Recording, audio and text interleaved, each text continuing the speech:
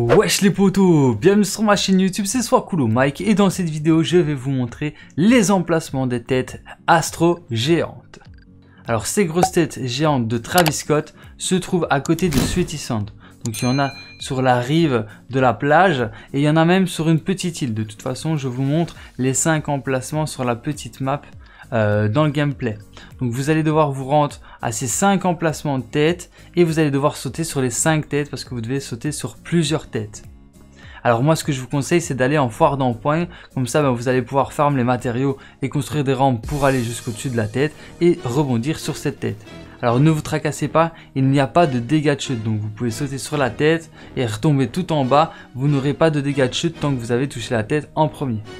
Et voilà qui termine cette petite vidéo d'information. J'espère qu'elle vous aura été utile. Si c'est le cas, n'hésitez pas à liker, à partager et à vous abonner si ce n'est pas encore déjà fait. Et sur ce, moi je vous dis à très bientôt pour plus de vidéos. C'était soit cool mec et ciao. Peace.